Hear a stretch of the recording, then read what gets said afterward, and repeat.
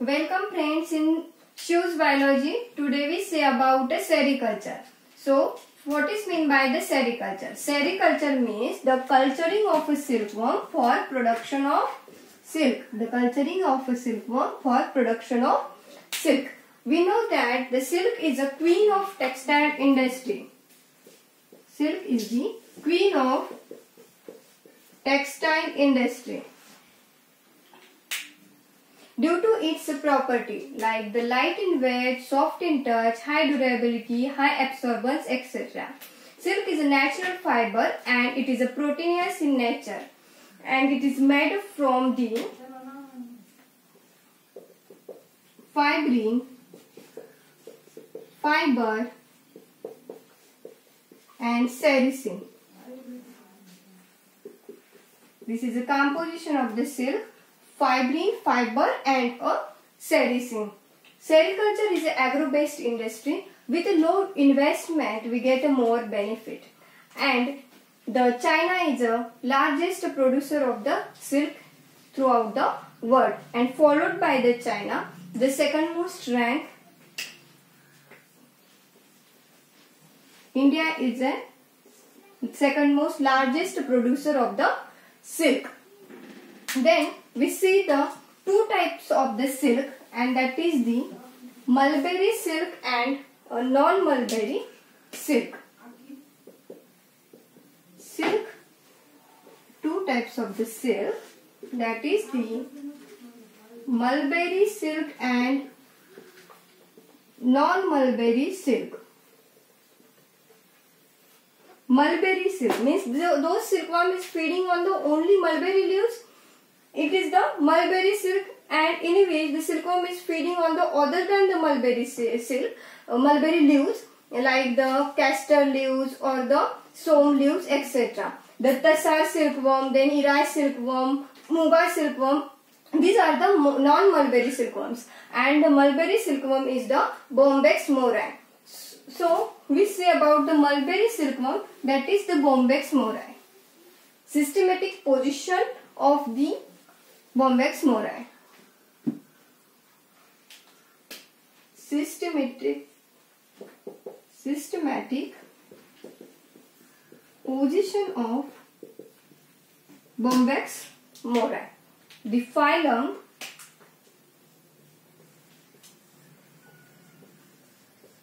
then class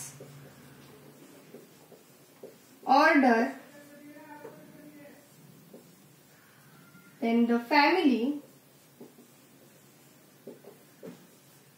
then genus and last one is the species. So, phylum is the Arthropoda. Phylum is a Arthropoda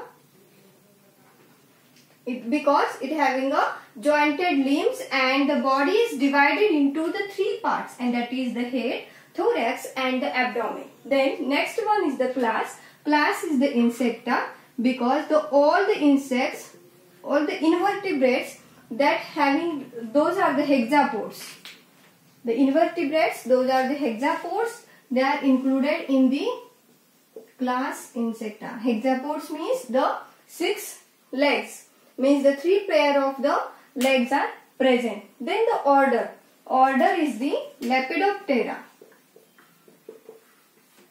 Lepidoptera. We know that the butterflies and moths are come in the order that is the Lepidoptera. So this silkworm adult is the moth means definitely this moth is included in the order Lepidoptera. Then the family is the Bombycidae family is the Bombycidae. Then the genus is the Bombyx and the species is the Mora and this is for the lineage. So keep in mind one thing and that is the uh, genus and the species. Genus first letter of the genus should be written in the capital form and the first letter of the species always written in the small form. This is the rules and regulation of the binomial nomenclature. And when uh, during this writing we are written this uh, binomial nomenclature or the scientific names in the italic form but when uh, they are handwritten then underline it. Then we see the morphology of the Bombyx mori. The life various life stages of the uh, Bombyx mori that is the egg, larva, pupa and adult and uh, we see about the morphology of this life stages of Bombyx mori. So first of all we know that the morphology, uh, the difference between the morphology and the anatomy.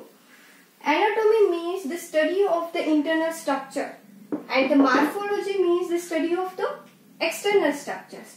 So, we say about the external morphology of the life stages of Bombyx mori. We know that the Bombyx mori is a holometabolous. Holometabolous means the, there are metamorphosis, different types of metamorphosis. Holometabolous, then hemimetabolous and the ametabolous. Holo. Holometabolous means complete metamorphosis. Holometabolous. Holo. Holo means a complete. Complete metamorphosis.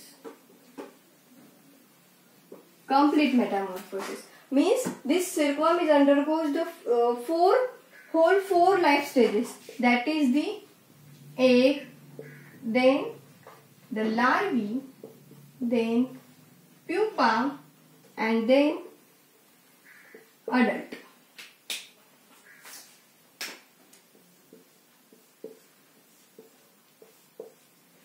means this silkworm showing a holometabolous type of metamorphosis means the complete metamorphosis first upon the egg then larvae then pupa and then adult.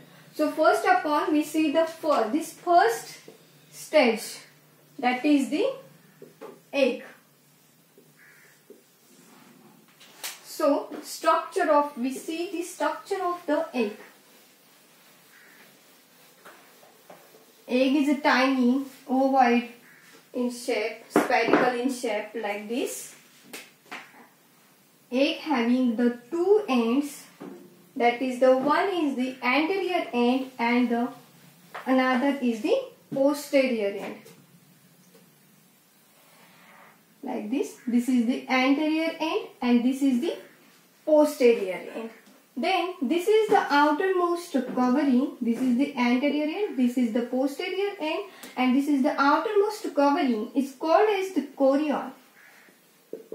Then beneath the chorion there is the one layer and this is called as the vitelline membrane. Vitelline membrane. Then here the nucleus is present and this opening at the opening of the chorion the one uh, at the end of the chorion the one opening is present and that is the micropyle for entering the sperm. Then throughout the this egg at the middle this yolk is present. This hole is the yolk material depending upon this position of the yolk there is the egg is classified into the different types. That is the centrolecithal egg, telolecithal egg etc. Means this yolk is present at the middle or at the center of the egg. Then this egg is called as centrolecithal egg. And this Bombyx mora egg is a centrolecithal type. Because this yolk is present in between uh, at the middle of this um, egg or the center of the egg. Then uh, we know that suppose this is this cell and this is this suppose this is the other organelles of the cell. Hmm? Then this is a semi-fluid structure is called as the cytoplasm. So this egg is also uh, one of the type of the cell. So it contains the cytoplasm but Due to this yolk material, the cytoplasm is pushes toward the periphery and this thin layer is called as the periplasm. It is the periplasm. So, this is the outermost covering is called as the chorion. Beneath the chorion, this is a layer is known as the vitelline membrane. Then at the center, the yolk is present. Due to this, this egg is called as the centrolecithal egg. The nucleus is present. For entering the sperm, micropyle is present and this is the two ends, the anterior most end, uh, anterior end and the posterior end. So this is a whole about the morphology of egg. In next video, we see about the morphology of larvae and pupa and then adult. So thank you very much.